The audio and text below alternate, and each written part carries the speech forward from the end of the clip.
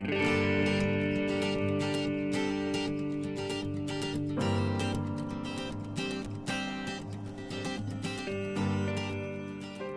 me, one of my favorite books uh, is maybe surprisingly it's Ecclesiastes. One of the things that that gives me comfort from this book is uh, is that God is, is there and God is present despite whatever happens in your life and whatever happens in the world.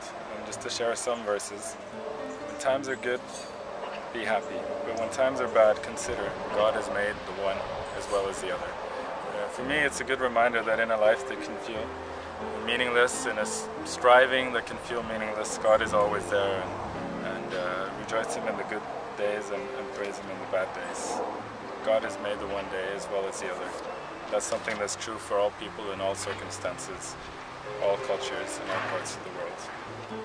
We're created into this world for a purpose, and uh, God will be there in all the days of our lives, wherever we live, wherever we come from.